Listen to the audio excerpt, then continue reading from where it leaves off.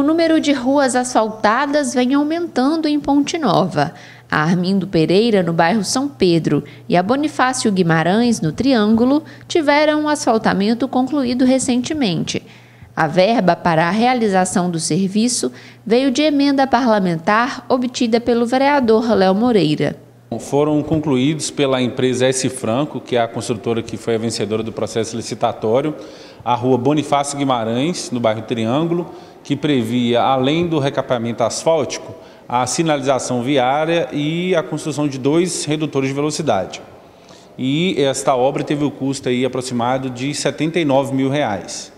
Já a rua Armindo Pereira, que também foi concluída na semana passada, também executada pela construtora S Franco, previa recapeamento asfáltico e também a sinalização viária e um redutor de velocidade, também já concluído ao custo de 81 mil reais. Ao todo, serão quatro ruas asfaltadas e o investimento total ultrapassa os 500 mil reais.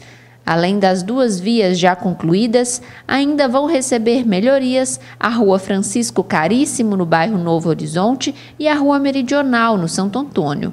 Os recursos para o serviço na Francisco Caríssimo foram obtidos com o apoio do vereador Hermano Santos. A Meridional teve início ontem é, o serviço de drenagem e asfaltamento. É uma rua do bairro Santo Antônio, é, terá o custo aí de 241 mil reais aproximadamente e também está sendo executado pela construtora S Franco.